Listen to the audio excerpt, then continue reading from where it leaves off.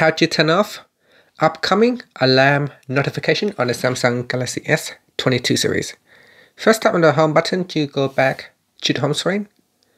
Then swipe up to go into the app screen. And next, tap on the clock application. Then in here, tap on the option key at the top and then tap on settings. Now in the clock settings, you want to go down and tap on upcoming alarm notifications.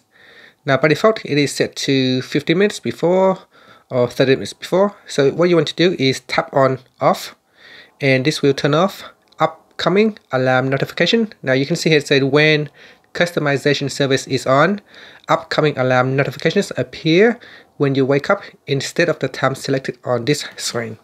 Now, if you want to switch it all off, you can go into customization service at the bottom in the clock settings page.